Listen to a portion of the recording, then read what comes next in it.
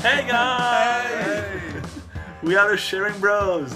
And for the past five months, we've been making a web series about our crossing of the American continent using only the collaborative economy. Right now we're in Santiago, and as the OuiShare Fest is coming, we wanted to share with you guys our experience of volunteering at the fest uh, last year. Volunteering at the OuiShare Fest was an amazing experience and a decisive moment for our project. It's a lot of work, but it's a thousand times worth it. What I really loved about uh, this experience as a volunteer is that you have the opportunity to meet really great people and very different, from entrepreneurs to thinkers and even some hippies.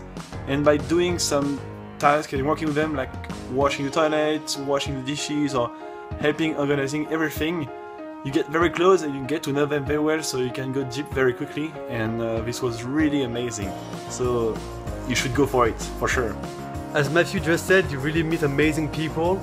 For example, while I was cleaning dishes, I met Anouk, a blogger and uh, specialized in communication, who really helped us uh, for our crowdfunding campaign and now still coaches us uh, every month. So that shows that because you work together, you can really build strong bonds in very little time. And it's really, really cool. It's like one great big shot of energy. Don't miss out!